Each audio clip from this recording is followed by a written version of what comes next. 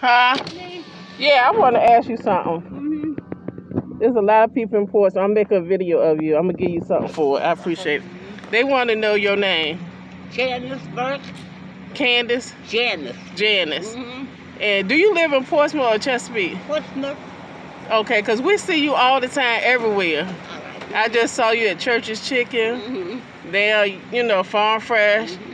So are you homeless or? I'm just having a hard time financially uh, while there. I'm not like, like happy at the place I'm living. So I'm trying to find a place to play, Mm-hmm. a new place to play. And I've seen you on the bus before. Uh-huh. You get around. Uh-huh. Well, I got a small donation for you. Okay. I thank you for your time. Uh-huh. Okay. And now I know your name, Janice. Janice. uh-huh. Okay. I'm Nicole. Okay, thank you because. Nice to meet you. All right, thanks. Okay, no problem. You be safe out there, okay? Okay, now. All right, Janice. See you later.